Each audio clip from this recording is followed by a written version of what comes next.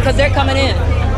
They're coming in right now. Up, everybody? It's Kalyn, and I'm in the Wave Backstage Lounge at Florida Funk Fest, and I'm with the bad boy crooner, Carl Thomas himself. Hey, how you doing? I'm doing great. Man, this is great, man. This is uh, this is an incredible event. Uh, I got to tell you that I expected something like this, but not quite like this. This is absolutely awesome. Isn't it amazing, especially after the pandemic and being inside for so long, seeing people come out with this much love? How does it feel?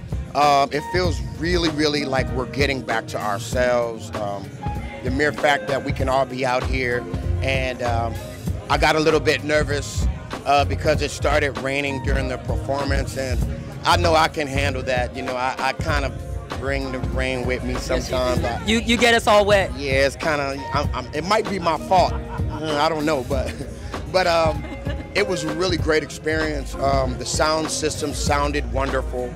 Um, the rain did nothing to change what was going on on stage. Um, I could feel, you know, even the people from way in the back that really didn't have the opportunity to be as close, you know.